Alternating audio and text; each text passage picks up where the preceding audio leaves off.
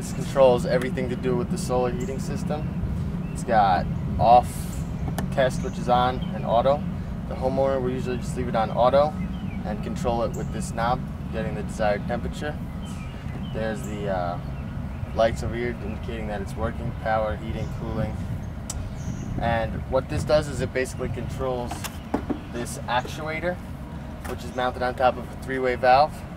What this actuator does is it spins and it either opens a left turn or a right turn. What this will do is it'll close one of the turns, forcing the water to go towards the solar panels up to the roof, heating the water to the panels.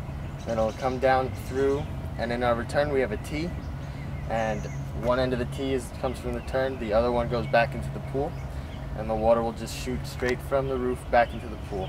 But now when the solar's off, the actuator will turn in the other direction, Mhm. just leaving the, the turn towards the pool, and the pressure from the water will force the water to go back into the pool, just cool. completely bypassing the system.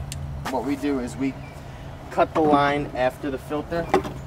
So basically, here's the pump. The water come from the pool comes up through here, goes into the pump. It gets pumped through here, then up into the filter.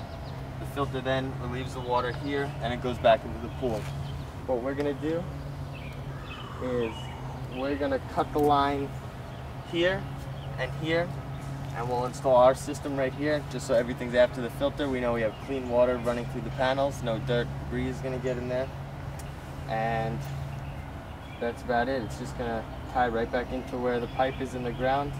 There's no, there's no real running anything to the pool or anything like that.